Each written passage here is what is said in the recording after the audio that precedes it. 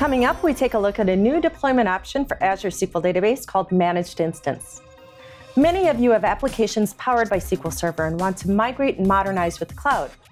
There are a class of applications that have complex database environments and require things like SQL CLR, SQL Server Agent, and cross-database queries. In the past, these dependencies prevented you from migrating to a managed PaaS service. Well, the great news is that all of these and more are now supported with the new Azure SQL DB Managed Instance. That means you have access to the most intelligent database service with zero code changes and near 100% compatibility. Let me show you how it works. We'll start by creating a new managed instance in Azure. In the portal, search for managed instance as you normally would. And give your service a name, select a subscription, region, performance level, all the common parameters when you're creating your database service. Select Create, and within minutes, you can begin using your new service.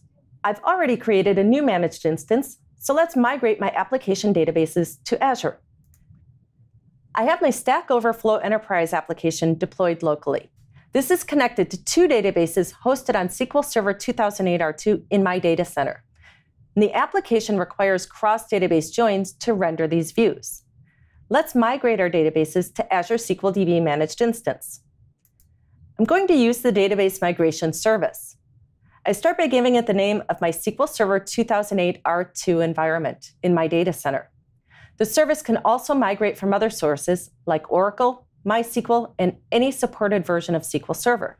I pointed to the Azure SQL DB managed instance that I created earlier. I select the two databases I'd like to migrate, and finally, I point it to a temporary storage location. The service will use this to store objects during the migration. And that's it. We'll give our service a name and we're off to the cloud. The service will begin migrating my databases to the new Azure SQL DB managed instance. It will restore the databases and all dependent objects. The database migration service supports multiple scale models, from megabyte to terabyte sized systems with minimal downtime. We can click in and view the progress of my databases, and you can see that in just a few seconds, our databases have already completed the migration. So let's return to our application. Without making any other changes, I'm going to point my application to my Azure SQL DB managed instance, and let's rerun our application. In just a few seconds, we've migrated and our application just works. No code changes needed. And as you can see, our application is now connected to Azure SQL DB managed instance with full support of my cross database joins and all other SQL Server dependencies. Now, this is not a virtual machine. This is a managed database service. I don't need to patch my operating system, upgrade my SQL environment, or worry about any machine configuration. Azure manages all of these and more. It's durable, highly available, secure, and now I have access to all the intelligent capabilities I only get by running SQL in Azure. For example, right here in the portal, I have access to a full range of performance insights.